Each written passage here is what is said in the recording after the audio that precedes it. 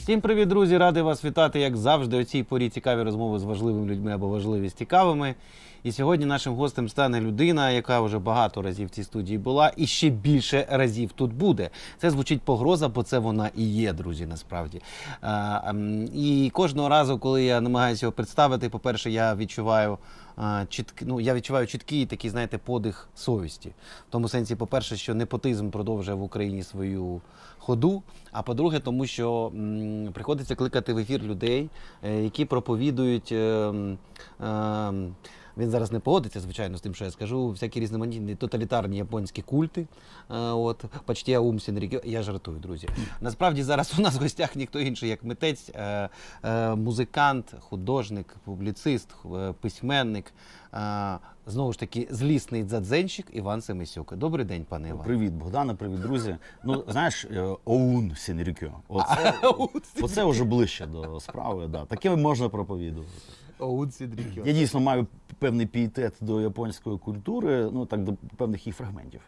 От, і цікавлюся деякими японськими практиками. Е, як би це сказати, е, духовними, так і скажемо. Ось. Е, Тому, ну да, так і є. Так і є. Е, Ну, про дзен ми зараз не будемо. Я думаю, це окрема тема насправді. Це інтимна тема насправді. Звичайно. Е, І тим більше, у вас є подушечка з гречневою шелухою? Є? Ні. Ну, значить, про що з вами можна говорити? Я правильно кажу? Да, з лушпинням, з гречаним або з проса е, можна купити такі подушечки в Україні виробляються для медитації. Е, І навіть е, можна футон купити і за японськими кресленнями в Харкові робили. Зараз вже не роблять, на жаль, через тру- трудову еміграцію. Ну, я вважаю, друзі, що цим зізнанням Іван Семисюк визнав, наскільки е, насправді добре йому живеться, враховуючи той факт, що людям на гречку не вистачає в країні зубожіння. Гречка війна. 88 гривень А коло ти сидиш на гречці, от тобі і не соромно, Іване. Я сижу на облупленій гречці. тобто, Ні, добре живеться, Богдане, бо ну живий. Е, в наш час це вже прям класно, справді. Це, факт. як казала моя подруга Діана Берг, це привілей зараз бути живим. І це треба так відчувати. а враховуючи, що вона родом з Маріуполя, то ці слова якраз З. Донецька і Да. з Маріуполя, ну і там, і там, і довелося покинути землі. Ну, я все-таки не про це. Ми, як ви знаєте, з Іваном е, зазвичай пробуємо вести такі, як би це сказати, навколо філософські бесіди. Ну, наскільки, звісно, вистачає моє, в усякому разі, мої, мого фаху і хисту е, до цього. І, ем, тому що Іван спеціально для цього носить темні окуляри, щоб було незрозуміло, да? Сьогодні я з відкритим поглядом. От це мене прямо, і, чесно кажучи, трошки лякає, я скажу насправді. Ну, а якщо серйозно. Е, от тема, е, яка є дуже актуальною, чому? Тому що насправді все-таки я дуже вірю в те, що Збройні Сили України приступили до планомірного звільнення вже українських територій. Кожен день з'являються нові населені пункти звільнені, дай Бог, щоб так воно і тривало далі. Е, І от у мене виникає дуже велике питання. От е, я розумію, що це питання до тебе не зовсім до тебе, це питання до правоохоронних органів, до законодавчих структур, але тим не менше. Я хочу спробувати от е, ще раз подумати про такий момент. Тобто, от є таке поняття, як не громадяни. Це, от, наприклад, в країнах Балтії є таке поняття, тобто люди, які ніби мають паспорт, але не мають громадянських прав. Але ну ми ж не можемо їх позбавити, наприклад, громадянських прав назавжди і так далі. От твоя думка, що робити з тими людьми, які, наприклад, е, скажімо так, це я зараз кажу не про не, не про ті, які от свіжо окуповані території, тому що там, в принципі, якщо ти вже тупий колаборант, ти вже втік, скоріш за все. А от е, населення Донецької, Луганської, особливо Крима, тобто, де ну, якби, купа людей жило 8 років. А, Ну, навіть не обов'язково вони були прямими колаборантами, але вони всі хоч якось були ну, втягнуті в життя Російської Федерації. От як до них ставитися, як їх сприймати, як їх абсорбувати, що з ними робити? А, Що робити, наприклад, е, з тими людьми, от умовно, я впевнений, що це буде така історія. Ой, я тут вийшла замуж, я із Росії, родила ребенка, так що ж мені, куди ж мені? Что с ней робить? А, а ой, вы, вот вы знаете, мы тут дом построили. Ну да, конечно, уже в 2015 году, но что ж нас виганять? Ну і так далі. От як до цього ставитись? І з точки зору твоєї громадянської свідомості, і, скажімо, такого більшого сприйняття. Складне питання етичне. Ти знаєш, що, от, наприклад, е, Шишоки е, Полтавської області. е, Там дійсно свого часу саме москвичі пов- накупили багато ділянок, набудували будинків і їздили влітку відпочивати. І ну просто жесть якась в Шишоках Полтавської області. Ти чув цю гидну московицьку балачку, причому в еталонному виконанні. Ну насправді зараз їх там ну нема. Нема, вони повтікали. Це щодо тих росіян, котрі ну расових, так би мовити.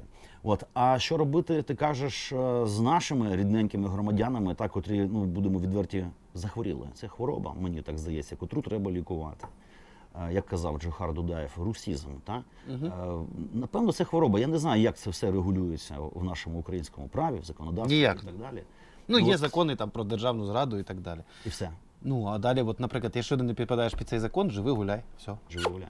Ну слухай, це треба лікувати, і потрібні лікарі відповідно, і потрібні ліки. Але ж у нас криза жанрів ну в країні в багатьох сферах гуманітарних, так Мгм. скажемо. У нас нема кризи жанрів зараз тільки в воєнних спеціалістах. От що, що добре, то добре. Але от як розбиратися з такими тонкими речами, з одного ж боку хочеться взяти і Так. Оце, да. А з іншого боку, ну так не вийде. Так не вийде. З людьми треба працювати. А, але знову ж таки, знаєш, в наш час обговорювати, як сказати, якість людського матеріалу. Угу. Да, навіть сама фраза, як звучить, е, ну це прям не прийнято. В наш час навіть така наука, як звичайна фізична антропологія, вона якби майже, ну як сказати, упосліджена, тому що ну, не, не прийнято зараз о, говорити про якість е, якості людей.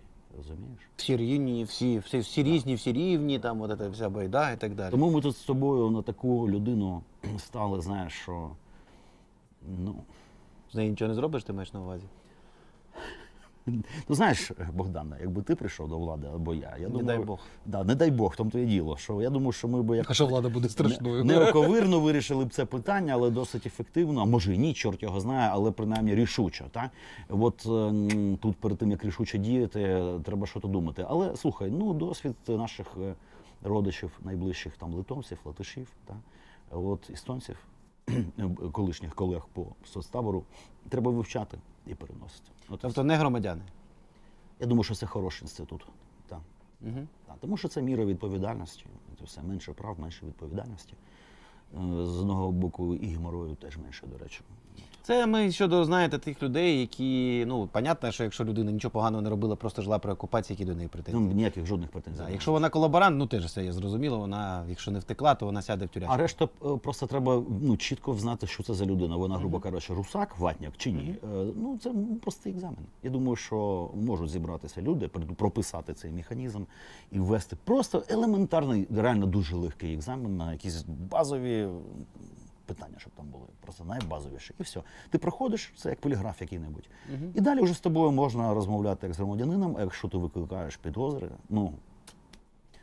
Сарямба. Сарямба, і тоді вже треба цей статус якось прописувати, не знаю. Але я думаю, все-таки от латвійський статус, ну все-таки Латвія е, при 40% по суті ватного населення, да, Росіяни. вона ну, існує, та? у них не розмилася їхня ідентичність. Ну, значить, напевно, це ефективна модель. Напевно, ну я просто не міг не спитати, тому що мені здається, це важливий момент. Але це фантазія чисто, знаєш, художника. Ні, чому? Я так не думаю, Іване. Насправді нам прийдеться це питання вирішувати, і я... Правники, це мають бути правники, але треба ви судмедексперти. Ні, ну, Просто треба піднімати питання про те, е, що в принципі є категорія громадян, які мають відповідати за те, що вони. За їх вибір, я би сказав. Якщо там, наприклад, не всіх ти ж не посадиш їх в тюрячку, правильно? Колабораціонізм теж буває різний, понімаєш, насправді. Ну да. так, безумовно, безумовно. Одна справа, якщо там людина, грубо кажучи, була служила в мінтурі російській, ну все ясно. Слухай, ну так, є спокуса. Е, Ну, якби звернути увагу на античну модель громадянства. Ну, е, Тобто якщо не полісну, то хо- хоча б римську, та, більш таку розширену. Є така спокуса, але ж знаєш, е, от, от, Арестович, наприклад. О, Боже, ну відомий, почему відомий ти, персонаж. Теж на на всю от, нову античність і так далі. Слизька насправді тема. Слизька. Чорт його знає. От слухай, якщо ти вже про нову античність дивись, насправді от дуже ці сьогодні цікаві цифри зустрів, що по факту зараз, от знаєш, там е, колись е, Френсіс Фукуяма написав в 90 там там першому році. Це, до речі, до питання того, що в світі Да. відбувається, і частиною чого, точкою біфуркації, чого є саме Україна. Що, ну пам'ятаєте, да, всю цю історію про кінець історії там і так далі, що, мовляв, все, ліберальна демократія вже перемогла, вона найвигідніша і все. Так от, е, через 30 років після того, як вийшла ця стаття, е, недемократичних країн в світі набагато більше, ніж демократичних. Мал- Тобто є 44% там недемократичних, і ті- тільки 11, які чисто демократичні вважаються, які підпадають під критерії. І решта це, так скажемо. Країни з змішаними типами і так далі. Тобто, ну ніякий це нафік не кінець історії і так далі. І навпаки, можна говорити, що в багатьох країнах ліберальної демократії велика криза електоральна, тому що до влади постійно починають приходити люди. Ну чи прихід би до влади там ще 30 років тому був просто би неможливий. І відповідно виникає питання, що з цим робити. Тобто, з одного боку, демократія це найкраще, що придумало людство. Знову ж таки, люди мають голосувати, люди всі там. Але ну тим не менше, як ми бачимо, ті ж інтернет-технології використовуються для того, щоб просто ті ж самі люди, які раніше приходили до влади на якому-то галтілому популізмі аля Гітлер Муссоліні, тепер могли це використовувати в якості. Ну, да. Тобто, от ем, як ти думаєш, е, чи можуть людство очікувати якісь ем, не те, щоб обмеження демократії, а скажімо так, обмеження заради того, щоб зберегти цю демократію, якось так. Тобто я ну я не знаю, там е, можна, звісно, говорити про обмеження там права голосу і так далі. Це якщо продовжувати нашу тему, там позбавлення прав громадянина. Чи це реальний варіант розвитку подій? Я тобі так скажу, що демократія це завжди е, вона там, де висока якість культури. Має бути дуже висока висока як, якісна культура. Але е, кількість людей така велика на землі, що реально забезпечити всіх якісною культурою, високою поличкою і виховати всі сім там чи скільки 8 мільярдів. Відповідальними громадянами це ну схоже, що це неможливо, тому що все-таки висока якісна культура це така аналогова штука. От це знаєш, коли ем, Ти соціальний расист, Семисюк, да? в цьому смислі Ліваки тебе б уже тому ненавиділи що зараз. насправді мене лякає те, що люди там ну майже розучилися писати руками, руками. Та а це ну це дуже важливо з дитинства займатися там каліграфією. От я майже б не розівчився до речі. Бачиш, це не дуже добре, тому що е, рука, як найбільш розвинута і складна, от якась наша зовнішня штука, оцей мацак, він ну це дійсно впливає на розвиток мозку, на те, як е, будується мапа е, мозку. Треба займатися такими речами. Я думаю, що оця аналоговість це буде таким знову ж таки привілеєм для далеко не всіх е, на землі. І от е, хто б матиме доступ до справжності, не віртуальності, а от аналогового життя, аналогового способу отримання освіти, е, твердих книжок в палітурці. Тобто не е, онлайн навчання, а живого Так, так, так. навчання з Оце, я думаю, що от це оце й буде ну, еліта. контур нової еліти. еліта да.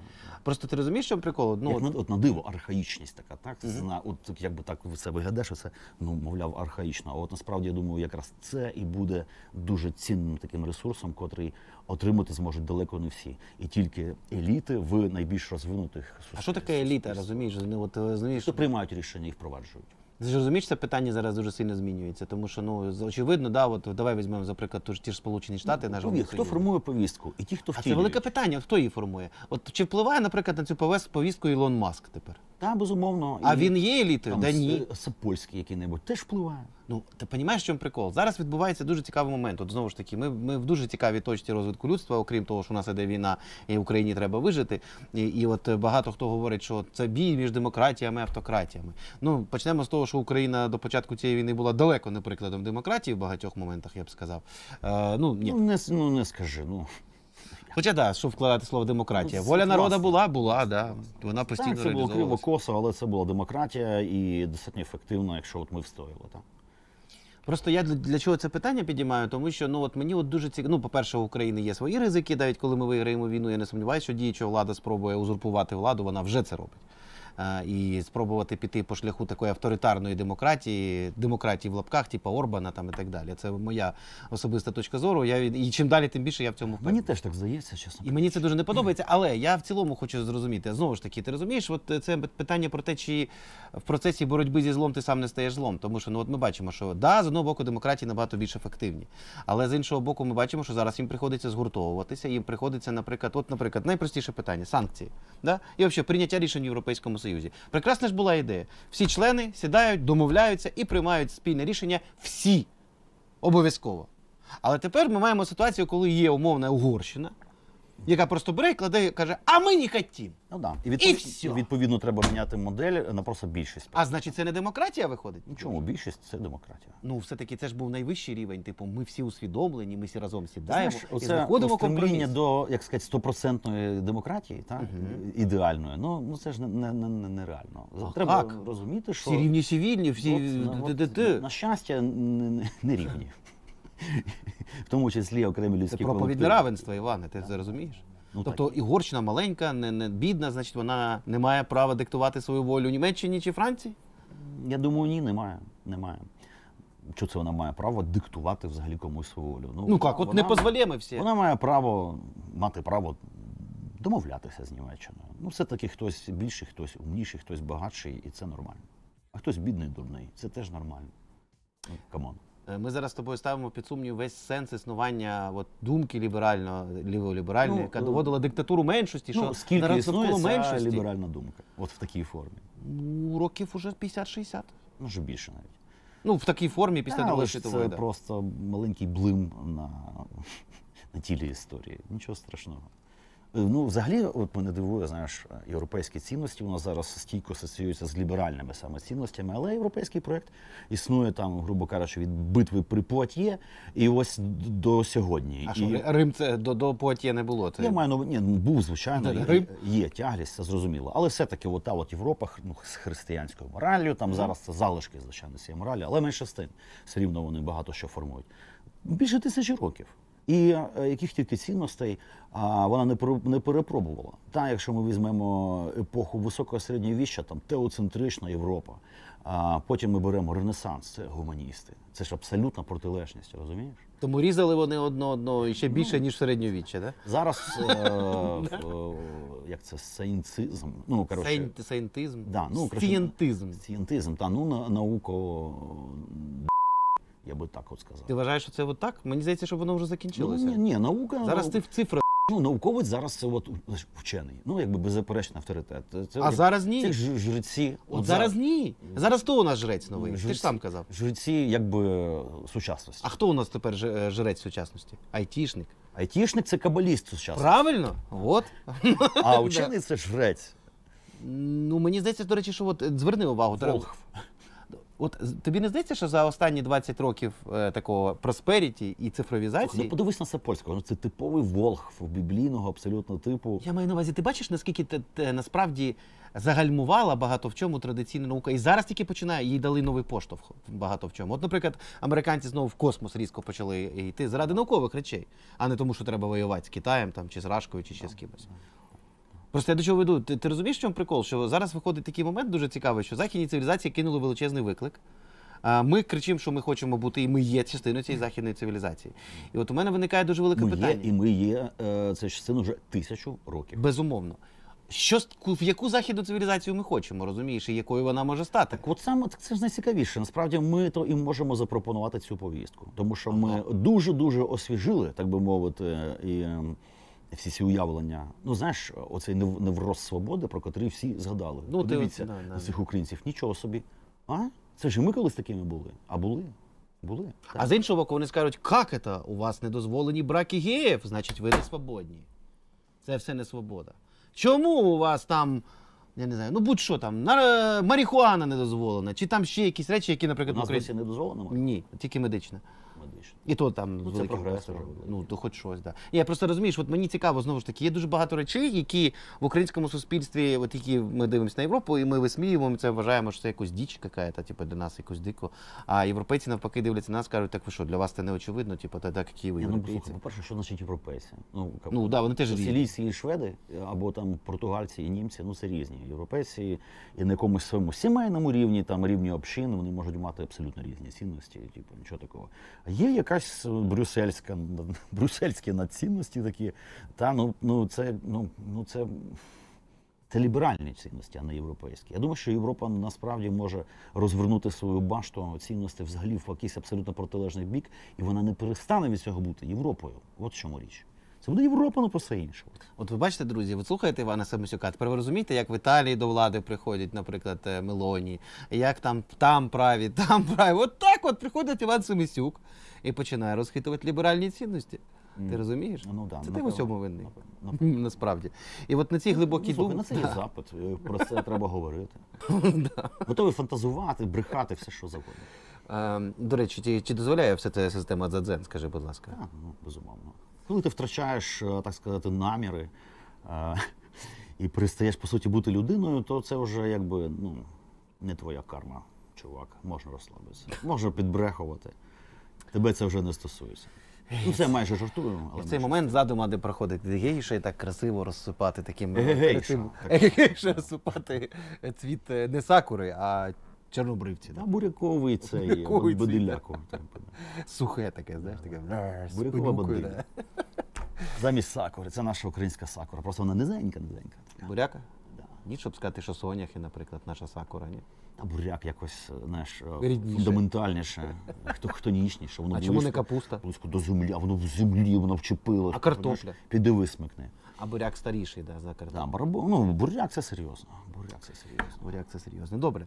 Е, окей, повернемось до нашої бесіди насправді про долю цивілізації України в цій цивілізації, куди ми рухаємося і до чого це все йде.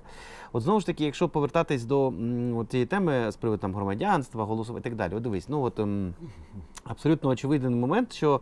Ну, скажімо так, звичайно, Україна буде зовсім іншою після цієї війни, якою саме ще складно сказати, бо війна протриває, величезні переміщення людей і так далі.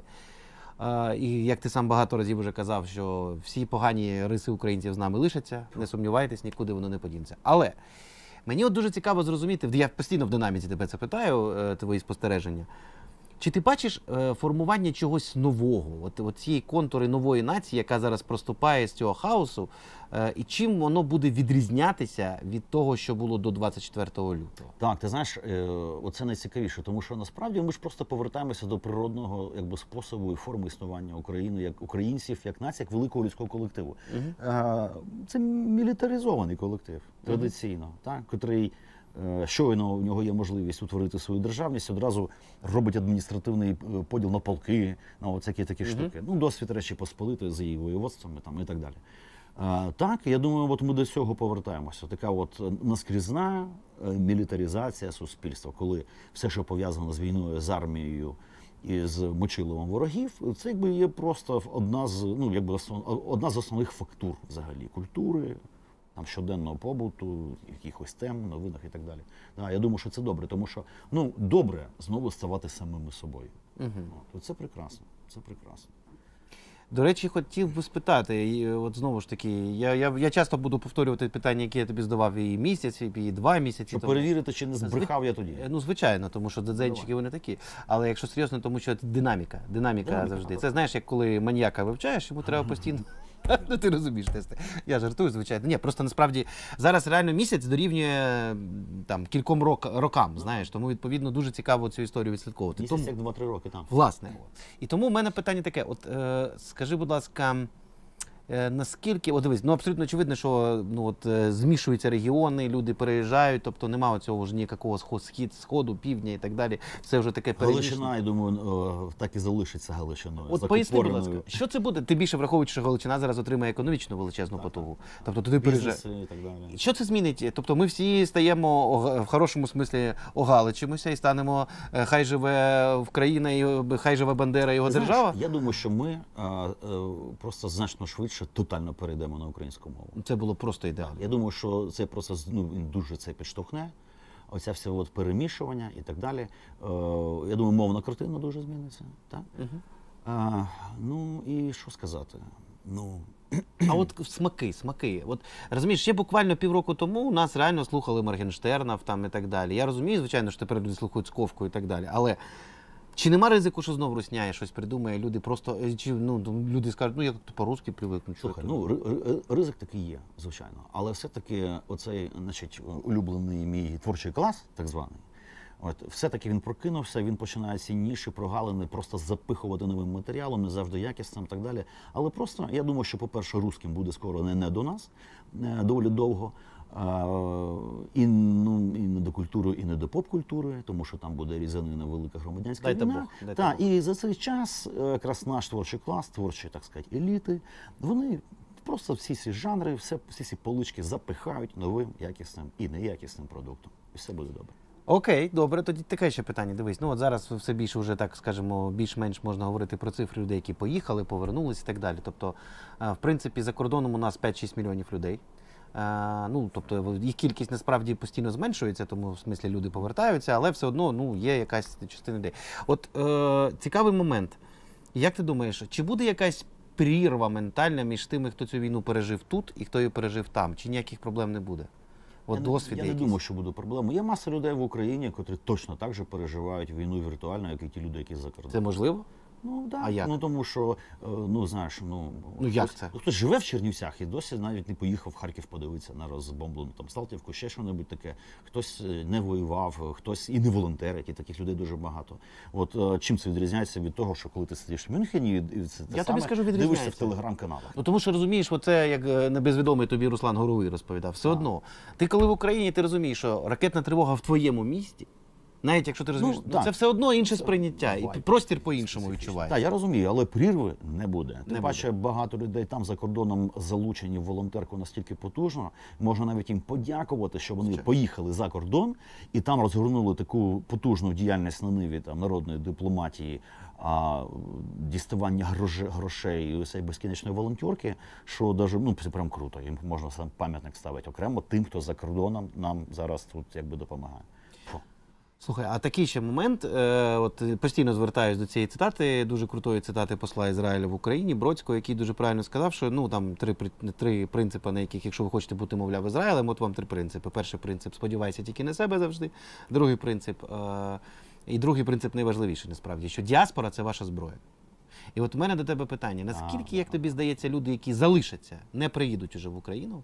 Це люди, які вже будуть втрачені для українського проекту, тобто які зробили свій вибір, що все, я не хочу, там опасно, страшно, фу-фу-фу. Ні, не думаю. Не думаю. Ти знаєш, що все-таки от феномен українських баняків, та? наприклад, ну, канадійських українців, котрі там в третьому, четвертому поколінні передають далі мову, Ну так. хай в специфічній формі, архаїчній і такі англосаксонізовані, так би мовити. Менше з тим. Тим паче зараз, коли ця ідентичність модна, коли вона зрозуміла, коли самі українці відчувають, о, так це ж конкретика якась, а не просто чор знає що. Бути українцем це круто, мати український паспорт це круто. Так я думаю, що от такі українці, котрі, ну, якщо вони дійсно перебували до, до виїзду там в українському культурному полі, а не були якими-небудь лазніцями, ванями дорнами, Глазніцями. глазницями і прочими, ну, типу, просто русаками. Насправді, такі українці, вони, я думаю, знаєш, чим більше таких діаспор, напевно, мають найти краще. Просто такі діаспори мають наші бути в успішних суспільствах десь знаходитися, впливових. От в Німеччині ви Ну, в Німеччині мільйон українців, чувак. мільйон. Мільйон! Ми були там, ми там були, але ми були відсутні в повісті. Ніхто не розумів, хто такі українці, що, є. що одні русські. А зараз ого, а виявляється, ми там і були весь цей час. Просто німці про це не знали. Ось такий сюрприз.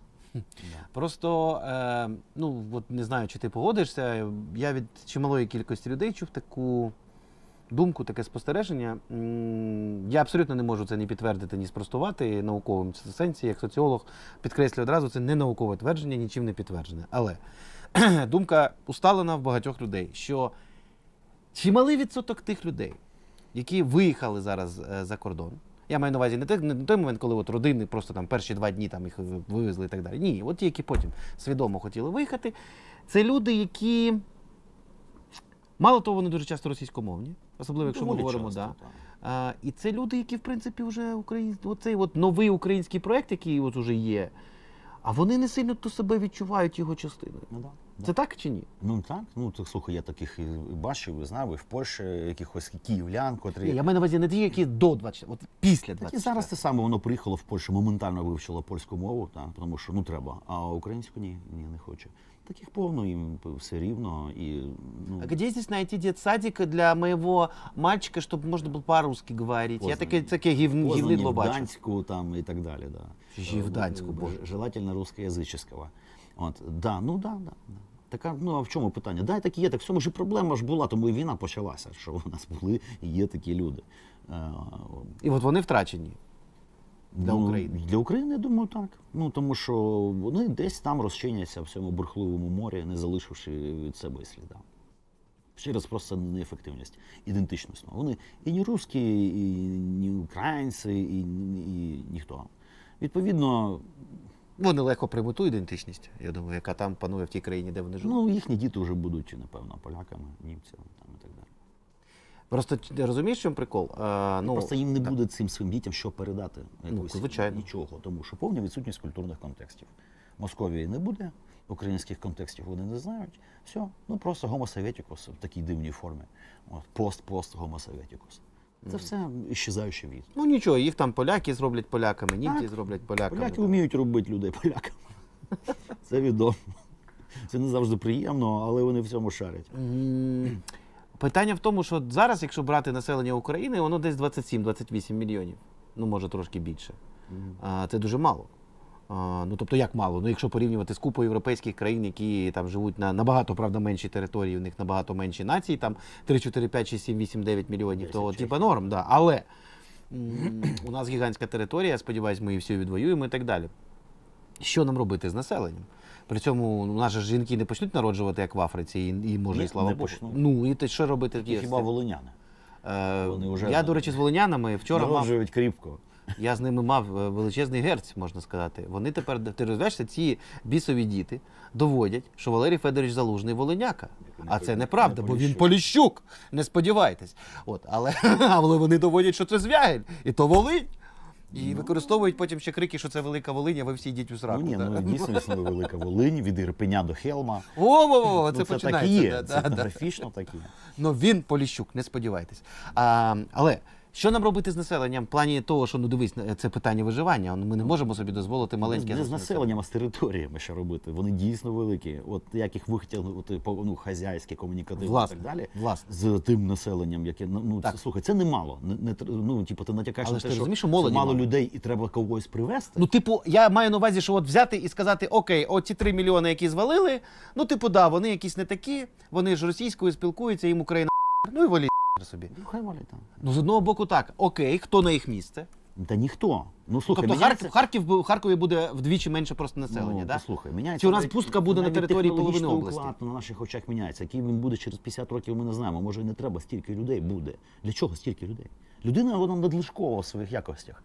Ну слухай, маса людей, котрі здатні на більше, все життя працюють десь там охоронцями чогось чи ще чого-небудь. Знаєш, там в АТБ, наприклад. Ну, але ж комусь треба працювати в полі, на будівництві і так далі. Де ж ці люди мають бути? Якщо Ну, вони звалять, е, то хто це буде робити? У нас же все таки не один мільйон. Ну слава Богу. Достатньо людей, котрі будуть працювати в полі і так далі, і не треба дуже багато селян зараз, ну, типу, не потрібно. Ну, рільників я маю на увазі. Тому що нові технології, типу, багато вир- вирощується всього. Ну come on, ми почали жити в 21 столітті, в котрому все буде інакше. Можливо, ті проблеми, які нам здаються зараз проблемами, це і не проблеми. е, Просто ми ще не звикли до цього. Може, не треба багато людей, але треба, щоб вони були якісні, щоб отримувати те, про що ми говорили. Правильної аналогові освіти, аналоговий досвід, тактильний. Ось. Аналогова країна. Я хотів би, щоб так, щоб Україна була, е, ну хай це буде 30 мільйонів, але щоб це були якісні е, люди в тому плані, як вони сформовані. Розумієш? Оце складно, тому що цим проблема, хто це буде робити. Е, Тут же кадри, питання кадрів, освіта і так далі, котре сам знаєш. Ну, це наше взагалі. Кумедно Ти подивись, що зараз освітою, це теж велике питання, розумієш? Тобто ти кажеш якісні люди, я з тобою погоджуюсь. Мало того, що почалася вся ця дрянь з цією епідемією, яка людей, е, е, ладно, в плані роботи, але мене дуже лякають студенти, які, по суті, все своє навчання вчаться. От уже буде такий уже курс перший, які, от, наприклад, пішли в 20-му році, умовно кажучи, в університет виш. От порахуй. Вони випускатимуться в 25-му році, вони вже третій рік вчаться е, онлайн. Третій рік. Ну там, там. З одного боку, можна сказати, клас, ну, це- ж типа скіли, вони самі там шукають інформацію. Ну come on. Я не дуже в це вірю. Я, я, я, я просто не розумію, як діти. я просто думаю, що онлайн це може бути до хороший додаток до ну, звичайно аналогової освіти, але це не може бути власна освіта. Так ну не Ну так ти розумієш, яка у нас буде з цим проблема? А Скільки дітей поїхало? Попереду дуже багато проблем. І нас буде менше і менше. Так от як це ти розумієш? От для мене питання, от ем, як тобі, я зараз тобі поясню, до чого я веду. Я просто вже бачу такі думки, е, усталені знову ж таки у певних кіл населення, що мовляв, ну нам по-любому придеться а, пускати на свою територію русню, коли вона почне тікати, білорусів. Ну, типу, нам же ж треба буде, от як поляки з українцями зробили. Е, у них була дика недостача робочих рук, і вони абсолютно, на мій погляд, логічно розсудили, що пускати е, там, скажімо так, людей з абсолютно інших культур, цивілізацій складно. Вони створюють проблеми, їх складно абсорбувати. Тому от же ж українці поруч. Е, те саме, типу, маємо зробити ми, коли у нас буде така можливість. Ти погоджуєшся з цією історією? чи Слухай, ну не знаю. Ну кого? Ну от варіант? Русня, білоруси, Ні, а ну, хто ще? русняні люди, це Ну, ну, я якби ж згоден після з такої війни, сам розумієш, буде дуже довго, бо там певна кількість років. А він буде приїжджати казати Крим. Україна. А? Є- Буде приїжджати Важно, тобі казати ну, Крим можливо. Україна, да я за Україну українську мову буде вчити. Ну, хі- ну хіба що ну, це рідкісні якісь випадки. Дійсно, є такі люди, знаєш. Не знаю, можливо, можливо, Ми можемо кинути хижі ока в цьому смислі на білорусів, але ж сам розумієш, що це фактично русаки зараз. Тому ну не знаю. Може, литовців переманити, ну їх мало. Ні, ні, ні. Дай у них самих проблеми, там потрібно, такі з населенням, що капець. Тому не знаю. Ну, Молдова. То їх теж мало. Come on, це, це не, не фактор. Слухай, ну не знаю. Я думаю, це таке проблема, це питання, яке маємо вирішувати не ми, А хто? а майбутнє покоління. От, от, от коли вони прямо стикнуться з тим, що от, от, а, от вони його і вирішать. Так завжди і Іване, ми з тим стикнемося з такими розкладами протягом буквально, от дивись, я вірю там протягом року-двох, сподіваюся, ми виграємо війну, і нам прийдеться відновлювати країну. І вже одразу буде недостача робочих рук. Е, От ті люди, які Тип поїдуть. економіки, напевно, треба буде міняти теж, е, враховуючи це. Тому не знаю. Не знаю. Ну, то тебе теж немає відповіді. І у мене її немає. у мене немає. Я ж просто художник зі скульптурною освітою, навіть не, не гуманітарного, просто ремісничою. Що ти, що ти від мене Ну, хочеш? ти у нас е, все-таки, по-перше, злісний дзадзенчик, а по-друге, ти ж е, провидець? Чи як? Ну, власне, Але от ж я тебе- не аналітик. самовидець. Да, самовидець, але не аналітик, і у мене таких компетенцій нема. Що Іван робити з такими складними там е, соціально-культурними речами? Чорт його знає, не знаю, не знаю. Це те, що мене хвилює. наприклад. Я не вважаю, що 30 мільйонів це мало. Ну чому мало? Це великий народ європейський, який все рівно його буде більше з часом. І плюс і цілком ймовірно, що величезна кількість українців е, в якійсь середній перспективі будуть повертатися, якщо це буде успішний проєкт і так далі. Можна навіть з Кеннеди, ну і так далі. Ну знаєш. Треба робити країну успішною, щоб українці, котрих повно по всьому світу, подумали: о, а отлічна тема повернутися в Україну тут заснувати бізнес і так далі. І думаю, це вирішення питання.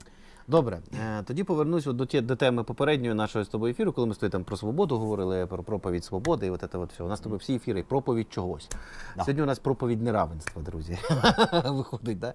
Не пропаганда, а проповідь. Проповідь, да. Ем, от е, як тобі здається, в чому саме, от все-таки я хотів би на цей момент і наголосити більш конкретно, Україна зараз протирає стеклишка, так би мовити, європейській всій західній цивілізації. Тобто, ой, ми такими були. Що мається на увазі? Тобто, от що, що ми відкриваємо, що за типу за свободу треба боротися, що свобода це не даність, типу, чи як? От мені просто цікаво, що Я саме. думаю, в саму категорію індивідуальної свободи. Так вона у них гіпертрофована в Європі там і так далі, хіба ні? Я б ні, я так не думаю, чесно кажучи. В смислі? Ну, це так здається, насправді. Все-таки там є така певна брюссельська деміургія, знаєш. е, Ну, на рівні об- звичайного європейця цього нема. Він просто живе заради власного задоволення. І йому кажуть, чувак, живи заради задоволення, все заради цього. Ну, свобода ж come on. не в задоволеннях кується і перевіряється. От зараз А, тут в Україні е, от іде цей екзамен. А які насправді європейці, ми ж не знаємо, тому що тільки війна може показати це. Ну, тому таке діло. Але думаю, що ми просто в знаєш, такому хорошому, кривавому, а водночас, в принципі, і коміксному такому вигляді е, запропонували цей ідеал індивідуальної свободи. в вигляді конкретних персонажів. Ну, тому що дуже яскраво все. Все дуже яскраво, плакатно і якось е, ну, е- епічно і героїчно. Так давай в епічно, чому ж коміксно? Ні, ну тобто у цьому немає негативної конотації, просто доступно, зрозуміло, яскраво, ясно і персоніфіковано. От коміксно. Да, тому я думаю, що ну. То, що ми підживили, підживимо сам інтерес взагалі до теми freedom, liberty і ну, свобода як така. Ну, тому що комфорт. В комфорті забуваєш про такі речі. Забуваєш. Ще одне питання, досить е, слизьке, на мій погляд. От е, я його задавав, наприклад, владиці Євстратію, коли він приходив, ну, Євстратію зорі. А, всі ніби вже звиклися з думкою, що українці дуже релігійна нація, саме релігійна, не віруюча нація. Да? Тобто ми в цьому сенсі дуже відрізняємося від русні, у яких дуже багато церков, але ніхто насправді не є релігійною людиною. У нас дуже віруючі люди і так далі. Тим не менше, війна, от дуже багато людей там втрачають віру, хтось навпаки в окопах починає вірити і так далі. Як взагалі оця вся історія військова вплине на от саме релігійне самоусвідомлення українців і так далі? Бо у поляків, наприклад, до певного моменту дуже чітко було поляк, значить католик, наприклад, да, і так далі. У хорватів, як ти сам пам'ятаєш, є така штука. От як це з цим у українців в цьому самоусвідомленні? І особливо знову, як це співвідноситься з уже по суті абсолютно багато в чому атеїстичною західною цивілізацією? Ну, да. ну, не знаю, мені зараз тут складно собі уявити, чи стане релігійність як така, типу, важливою частиною або обов'язково української, ні, української ідентичності. Ага, да. Розумієш? Так, багато людей релігійних або віруючих. А хтось втрачає навпаки. Е, Напевно, хтось втрачає, але я не впевнений, що, скажімо, там православне християнство е, це має бути е, обов'язковим елементом українського айдентиті, як бути католиком е, для ірландця або для поляка. От не впевнений, чесно кажучи. Але при тому, що як би сказати, що взагалі да, дійсно, от християнська етика, християнська традиція явно, явно у нас дуже опукла і вона зберіглася. Все таки. От вона збільшилася через війну, тому що я знаю купу моментів, коли ну це, до речі, дуже часто жінки кажуть: е, ну який в сраку Бог, якщо він допустив, щоб стільки ну, дітей тако- загинуло, це знаєш. Діло в тому, що це, це не втрата, значить і не було. Ну такі речі не втрачаються. Релігійна оця чуйка, цей інстинкт, як казали, що в 19 столітті вважалося, що є такий інстинкт просто. А, це не те, що можна втратити. Такий вогонь не Чи на словах можна втратити, а по суті воно в глибині душі в тебе. Так, і такі речі ні. Або ти маєш цей вогонь, або ти його не маєш. Тому От і мені цікаво зрозуміти з твоєї точки зору, чи все-таки цей вогонь більше, менше він стає от від того, що відбувається, тому що нації в горнилі таких випробувань. Я думаю, більше тому, що все, що на наших очах відбувається, відбулося, і відбуватиметься, це чудо. І виглядає як чудо біблійних масштабів. Ну, Давід і Голіаф, да, абсолютно очевидно. Прямо от прям І да. тому, ну, ну як після цього не повірити. Е, Не то, що повірити, а не ну, признати, що в залужного що от є чудо. Є чудо в такому от, от, в практичному вимірі. Воно стається. Що це як не чудо? Ми не про левітацію говоримо або що, а про чудо в соціально-культурних от таких от контекстах. Це ж чудо. Понимаєш? Мені прямо зараз хочеться зацитувати Івана е, Леопардовича Самсюка, який каже: стоїмо, не пророкуємо. Йому не пророкуємо. Це майданівський жарт. Ну воно ж таки є насправді. Тому так, я думаю, насправді так і є. І мені взагалі це подобається, тому що це дуже, як сказати, це взагалі дуже надійна вісь для суспільства. Не релігійний фундаменталізм, Ні, ну, е, там, конечно. або як там в сучасному ісламському світі, де квітнуть і секти якісь. Ну, і на Іран подивись. Ну так, так, так. А, в- ні, я маю на увазі, що все-таки е, нема порожнечі всередині, так? Е, Уже е, все решта тут деталі. От, а це важливо. Ну і напевно, щоб е, підсумувати нашу сьогоднішню бесіду, цікаво твої поради. Знову ж таки, я тебе задавав це питання, але як завжди, повторюся, в динаміці дуже цікаво слухати е, відповідь. От що ти порадиш людям, новонаверненим в українство, назвемо це так. Тобто, грубо кажучи, от люди, дуже багато людей вперше, напевно, ну, хоча б вони відчули огиду і розуміння того гівна, в якому вони ментально, екзистенційно існували раніше в межах так званого фальшивого руського міра. От що ти їм порадиш? Як їм розвивати свого внутрішнього українця, щоб е, перетворитися на повноцінну Значить, перша нормальну порада особу? не зловживати словом наразі. От. Тому що це просто реально слово паразит для всіх людей. А хто, чому? Не знаю, хто почав вчити українську мову, перейшов на українську мову. І, до речі, серед тих москалів, які вивчили українську, почали нею говорити, як там ну, відомі персонажі, які до нас там переїхали. Мгм. Наразі щось е, улюблене їхнє слово, і я навіть називаю таке мовлення, якби наразі language. е, Такий окремий. От.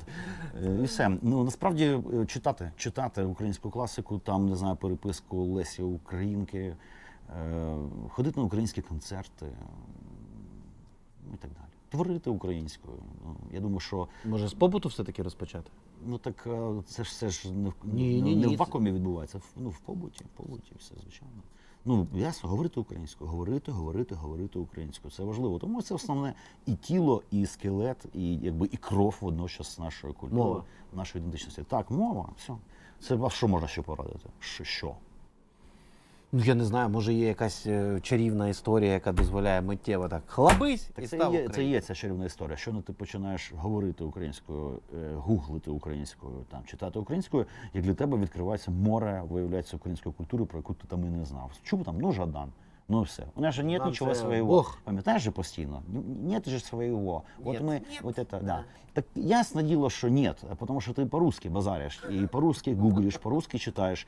Ясне діло, що ну просто для тебе немає українського контексту, бо він весь створюється саме українською мовою. Це дуже проста порада. Балакати українською. І все-таки, я б от, е, ну от яку книжку, давай три книжки, які б ти порадив прочитати людині, яка от відкрила очі, як такий, знаєш, Богдан, я завжди раджу читати всі, всі три мої книжки. Іване, ну це, це, це ницо, розумієш? Ницо, Ну це ницо, да. Це най- найкращі. Це, це, це тупо ти як директор по, по, по діджиталізації Ні, маркетингу. ну просто це реально, зараз. це реально, якщо це про, про identity, це про фактуру, це про любов до України. Ну тоді скажи ти назви книжок, хай люди хоч знають, що за книжки, чітко, якщо раптом не чули. Ну, пригоди Павіана Томаса. Так. Е, Вона ж е, еволюція або смерть. І книжка під назвою Фарширутка. Це продовження еволюція або смерть. Е, Скоро буде перевидання, до речі, одним томом подарунковим у видавництві люта справа. Зараз купити, Палітурка красива? купити неможливо. Так, надіюся, що буде красиво, але слухай, ну це ж Гончарук. Видавництво люта справа завжди робить якісно і красиво, естетське. Ну і віршики мої з матюками серце Апачі, лірика. Угу. Чудово. А що ще? Ну що ще? Ну, що може Жадана читати. Ну зрозуміло. Ти забув Багато кого. Слухати гурт Юкіс, Гурт Юкіс можна слухати. Так. гурт Пирятин. Гурт Пирятин можна слухати. А ще, ще, друзі, давайте вже давай вже тоді ми займемося грубим просуванням власного контенту, використовуючи службове становище. Друзі, Е, 12 листопада в місті Києві в клуб Волім клубі буде великий концерт гурту Юкіс, де ми маємо честь з Іваном Самосюком разом творити. Ми там у нас буде дуже цікава нова програма. Буде у нас новий навіть член колективу, Так, так, друзі. так. Тому приходьте, і я візьму на себе сміливість за Івана Леопардовича сказати, що якщо ви хочете українізуватися правильно, робіть це через призму Юкі. Естетське. Якщо ви хочете кронізуватися естетським, от дійсно, так, дійсно, Юкіс клуб Волюм. Е, 12 листопада. Е, Скоро в Фейсбуці у нас на сторінках з'явиться якби ну, реклама цієї події. Всі рекламні матеріали вже готові до запуску. Слідкуйте і приходьте, і тим паче, що е, ми ж не тільки для себе, тому що якісь гроші підуть ну, Ні, Звичайно, як завжди. завжди на якісь пікапи, на якесь забезпечення і так далі. Як завжди. Ну що ж, це був Іван е, Самовидович Семисюк. Не самовитович. Не Самовидович. А, кстати, непогано, не Самовидович. Придумали, добре, окей. Несамовитович Самовитович митець, ецетера і так далі. Е, дякую вам за те, що ви були з нами. Побачимось, почуємось обов'язково. Бувайте.